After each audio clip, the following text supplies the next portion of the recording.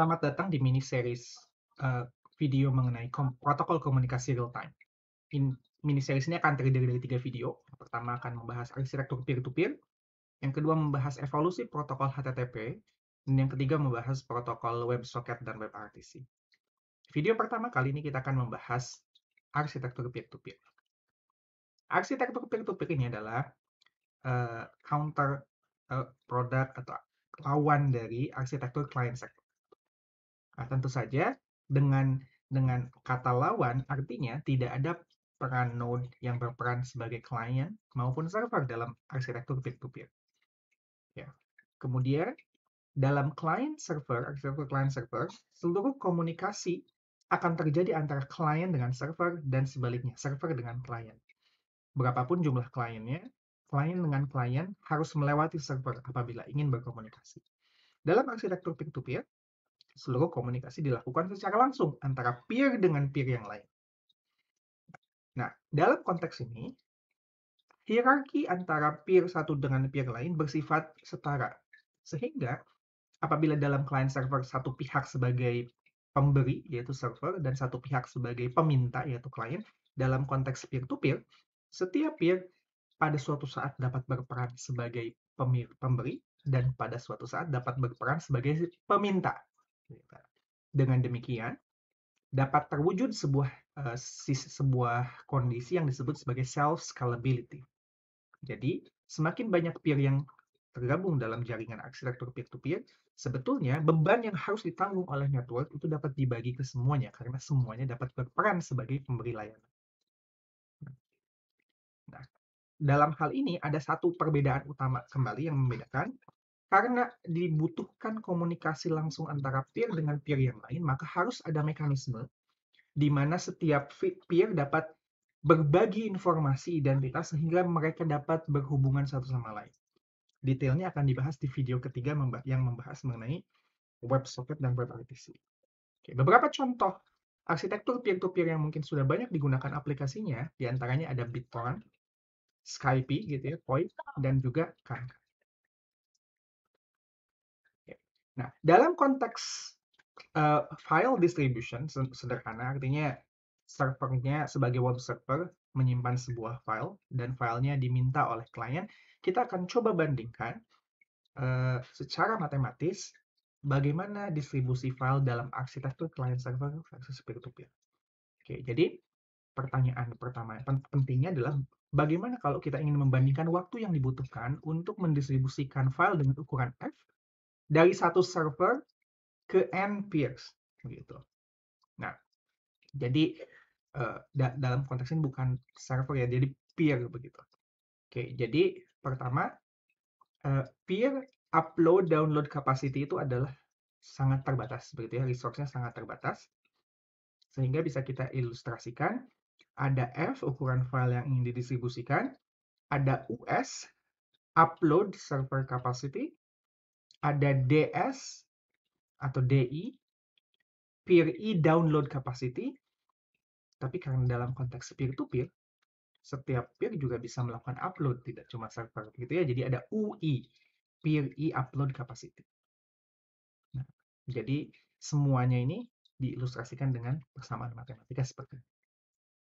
Oke, sekarang kita mulai dari arsitektur client server. Jadi dalam client server setiap kali server ingin melakukan transmisi, dia dia harus melakukan uploading file ke klien secara sekuensial.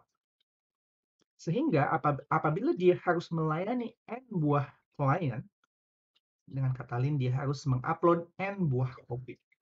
Waktu yang dibutuhkan untuk mengirimkan satu kopi adalah F dibagi US.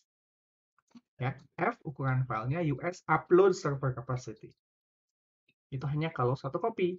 Apabila ada N kopi yang ingin dikirim, yang ingin transmisikan, maka N kali F dibagi US.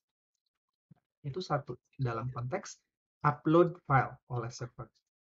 Klien di sisi lain, dia juga harus mendownload file tersebut. Ya. Sehingga setiap dari klien yang terhubung dalam eh, dalam arsitektur client server ini semuanya harus mendownload file tersebut. Bagaimana perhitungan waktunya? D minimum adalah minima, minimum client download rate. Karena pasti download rate-nya beda-beda antara satu klien dengan klien yang lain. Nah, sehingga untuk mendownload file berukuran F, minimal download time untuk sebuah klien bisa kita rumuskan sebagai F dibagi D minimum. Ya, F dibagi D minimum. Nah, sehingga dari dari dari dari uh, notasi tersebut, waktu yang dibutuhkan untuk mendistribusikan F size file, file dengan ukuran F ke N client dengan menggunakan pendekatan arsitektur client server itu bisa kita rumuskan menjadi seperti ini. DCS, waktu yang dibutuhkan untuk mendistribusikan file dari uh, mendownload file dari oleh klien dari server adalah kita akan cek mana yang lebih tinggi antara nilai NF dibagi US, ya, mana yang lebih lama, waktu yang dibutuhkan oleh server untuk mengupload file ke semua klien, atau F dibagi D minimum, waktu yang dibutuhkan oleh satu klien untuk mendownload tersebut. Mana yang lebih tinggi, maka itu adalah waktu minimum yang dibutuhkan untuk mendistribusikan file F ke semua node. Perlu dilihat, ada notasi N besar. Artinya, semakin banyak klien yang terhubung dengan server, maka dia akan menambah kompleksitas atau waktu secara secara linear. Nah, ini yang, di, kita bisa lihat dalam arsitektur client server. Bagaimana kalau kita lihat dalam arsitektur peer-to-peer? -peer? Oke, sekarang kita asumsikan saja namanya sama server, walaupun pada kenyataannya ini bisa kita katakan peer begitu. Pada suatu saat satu peer lah yang berperan sebagai server.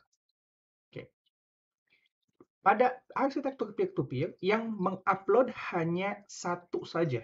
Kenapa? Karena ya pada saat yang lain node yang lain atau peer yang lain dapat ikut mengupload gitu. Jadi server hanya butuh satu kali upload saja. Sehingga waktu yang dibutuhkan untuk mengupload hanya untuk satu copy aja, F dibagi US. Nah, setiap klien tentu saja harus mendownload sama notasinya F dibagi D min. Nah, yang membedakan pada perspektif klien, dia juga bisa mengupload. Itu yang beda.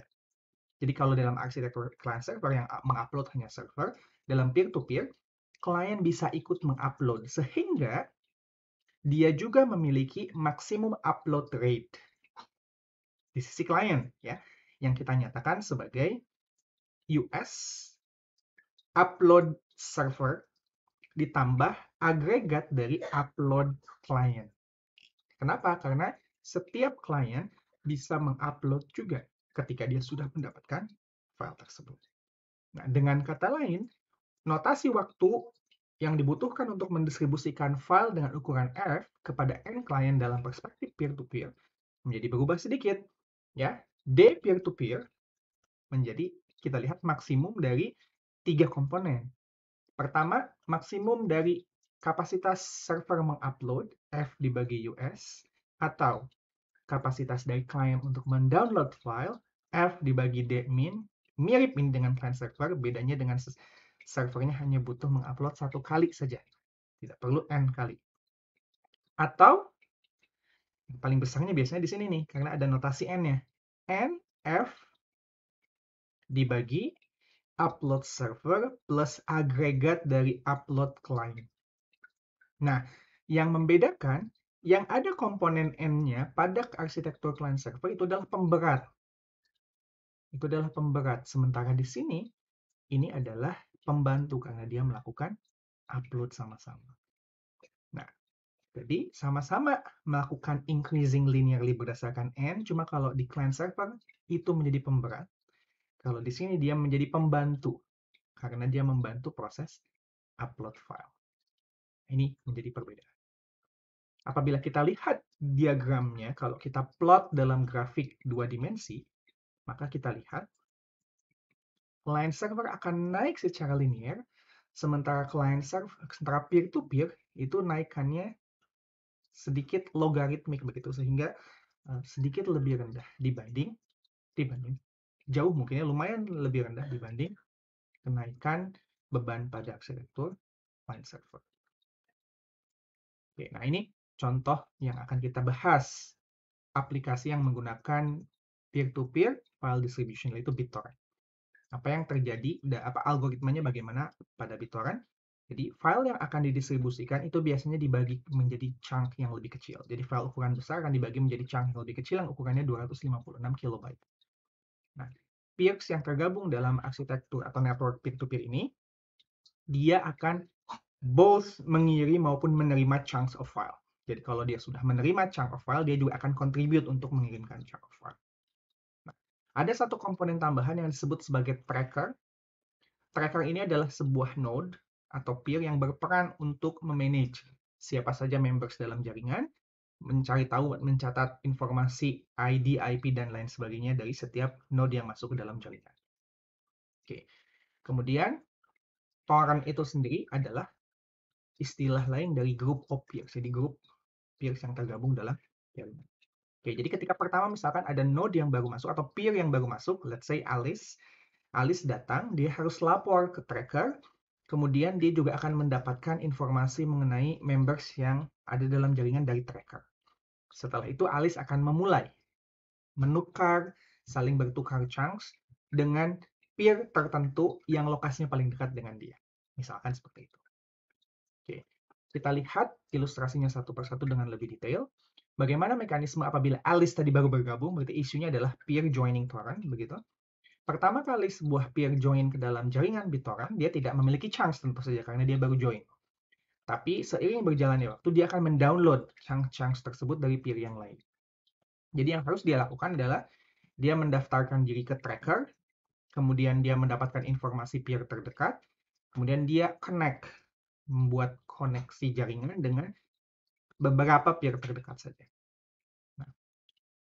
Ketika dia sudah mendownload beberapa chunks, dia juga by default harus mengupload berkontribusi ke uh, peer lain yang belum mendapatkan chunks tersebut. Nah, seiring berjalannya waktu pula, peer tersebut, si Alice, dapat berganti neighbor. Jadi berubah awalnya terhubung dengan ABC, nanti berhubung dengan EFG misalnya. Ada mekanismenya sendiri. Di luar itu, peer juga punya hak untuk come and go. Jadi dia bisa datang, bisa pergi sesuka mereka. Jadi sebuah peer itu bisa jadi bersifat selfish begitu ya. Ketika dia sudah dapat download semua yang dia inginkan, dia bisa pergi. Kayak gitu. Ataupun dia bisa stay untuk contribute membantu upload file. Jadi itu kondisi yang mungkin terjadi dalam arsitektur. Nah, tapi ada mekanisme yang di, diatur sehingga orang-orang atau peer-peer yang bersifat selfish itu tidak akan bertahan dalam jaringan Bitcoin. Oke, apa saja? Kita mulai bahas satu-satu. Tadi kalau join the peer, sekarang bagaimana jika request chunk? Pada setiap waktu, kapan pun itu, setiap peer itu dapat memiliki tetangga yang berbeda. Secara periodik, sebuah peer, let's say di sini Alice, dia akan bertanya kepada tetangganya yang terkoneksi, list chunk mana saja yang mereka miliki. Kemudian Alice akan merequest chunk yang belum dia punya kepada para peer tersebut reverse first. Artinya kalau ada lebih dari dua peer yang memiliki chunk yang sama, tapi cuma ada satu peer yang punya satu aja chunk, dia minta yang itu dulu. Itu ketika request. Selfishnya belum terhandle di sini. Nah, ketika sending chunks, ini baru akan terasa. Ada mekanisme yang disebut sebagai tit for tat. Jadi, Alice itu hanya akan mengirimkan chunks ke empat tetangganya yang currently sending her chunks at highest rate. Artinya, Alice hanya akan mengirimkan chunks kepada peer yang sudah menolong dia sebelumnya. Kalau ada peer yang selfish, dia tidak akan masukkan peer itu ke dalam the highest rate peer. Jadinya dia nggak akan kirim chunks. Nah, ini mekanisme yang menarik. Karena yang selfish-selfish tadi by default akan ter terfilter. Jadi, ketika dia memilih uh, the highest rate chunk of peer ini, other peers itu akan diabaikan, diignore, atau dichoke oleh Alice. Dan mekanisme pemilihan the highest rate peer ini akan dilakukan setiap 10 detik. Jadi akan berubah-ubah semakin seseorang contribute ke dalam network, dia akan mendapatkan chance untuk mendapatkan chance lebih cepat karena berstatus highest rate. Gitu. Selain itu, setiap 30 detik, setiap peer secara random akan berganti berganti tetangga atau berganti neighbor. Supaya apa? Supaya tidak ada peer yang kena chop terus-terusan, gitu kan? Jadi dia akan optimistically unchop peer dan setiap peer mungkin akan dapat kesempatan yang sama untuk saling berbagi. Oke, nah, jadi kurang lebih seperti ini mekanismenya. Pertama, Alice op optimistically unchokes Bob. Jadi pada suatu saat Bob terpilih menjadi empat tetangga Alice. Kemudian Alice becomes one of Bob's top four provider karena Alice mengirimkan chunks ke Bob. Setelah itu tentu saja Alice masuk menjadi highest rate. Dia akan mengirimkan dan dia akan dikirimkan balik oleh oleh Bob. Nah, sedemikian sehingga setiap peer hanya akan terhubung dengan peer-peer yang berkontribusi terhadap jaringan. Sehingga peer-peer yang tidak berkontribusi yang bersifat selfish akan terlempar dari jaringan secara otomatis. Nah, ini mekanisme contoh dalam dalam BitTorrent yang memanfaatkan prinsip arsitektur peer-to-peer. Sampai sini dulu video kali ini.